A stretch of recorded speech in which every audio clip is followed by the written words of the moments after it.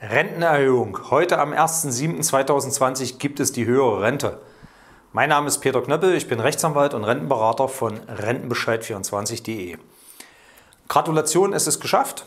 Heute am 1.7.2020 gilt es für alle Rentnerinnen und Rentner in Deutschland, es gibt die höhere Rente. Die Rentenanpassung ist durch, denn seit dem 5. Juni, das wissen vielleicht die meisten gar nicht, 2020 verschickt die Deutsche Rentenversicherung schon die Rentenanpassungsbescheide für die aktuelle Rentenanpassung. Im Osten sind es 4,2 Prozent mehr Rente und im Westen sind es 3,45 Prozent mehr Rente. Wir sagen eine super Rentenerhöhung. Äh, wir hatten im Jahr 2019 im Vergleich zu 2018 eine super Lohnentwicklung. Der Nachhaltigkeitsfaktor, der auch in der Rentenerhöhung eine wichtige Rolle spielt, hat sich auch positiv entwickelt.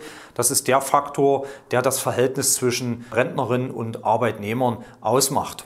Die Rentenerhöhung kommt ca. 26 Millionen Rentenempfängern zugute. Davon sind auch viele Doppelrentenempfänger.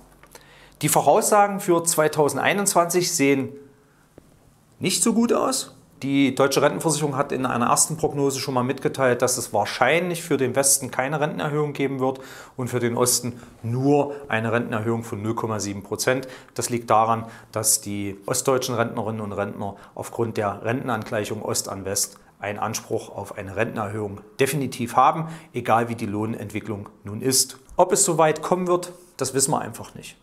Wir warten da auf jeden Fall ab und schauen jetzt nicht gleich sofort in die Glaskugel, sondern am Ende des Jahres kennen wir die Zahlen und wir hoffen für alle Rentnerinnen und Rentner, dass es im Jahr 2021 auch wieder eine Rentenerhöhung geben wird.